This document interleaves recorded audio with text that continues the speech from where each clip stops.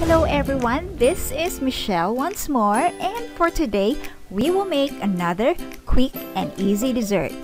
Our ube mais salad.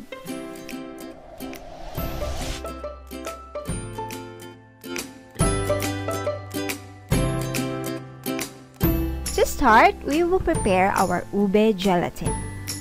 In a saucepan, let's add in our water our granulated sugar, and our ube flavoring. I am using the brand McCormick. And our gulaman in the brand Zang. A sachet of Zang gulaman contains 3 tablespoons, but for this recipe we will only need 1 and a half tablespoons. Let's just cook this mixture while stirring constantly until it thickens.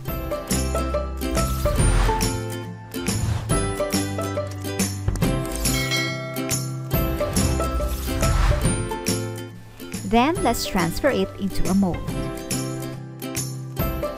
Allow it to cool down and firm up. Now that our gelatin has firmed up, we will cut this into cubes or any shape of your desire.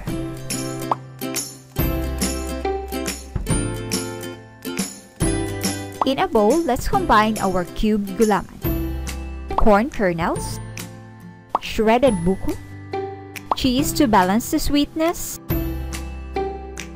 all-purpose cream,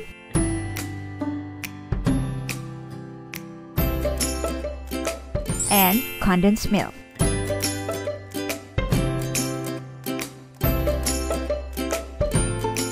Let's mix everything to combine and refrigerate it to chill.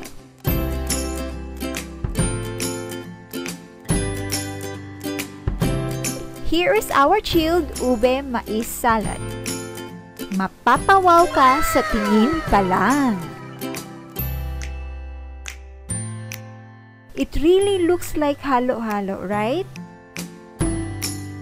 Our salad is quite dry because I chilled this overnight, so I wanted to add a cup of evaporated milk. But if you are fine with the consistency, then you may just keep adding the milk. Just mix it properly and we are ready to dig in. Now, let's have a taste of our halo halo. Este, um, ube corn salad.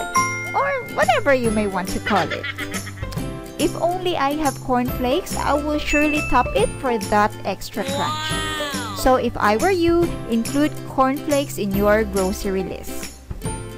We are so excited because we waited for this overnight. Hala, kalamig food. It really tastes like halo halo, as in, you gotta try this at home. Please like if you enjoyed and subscribe if you haven't and click the bell button for you to get notified of our upcoming videos. Have a good day and see you next time.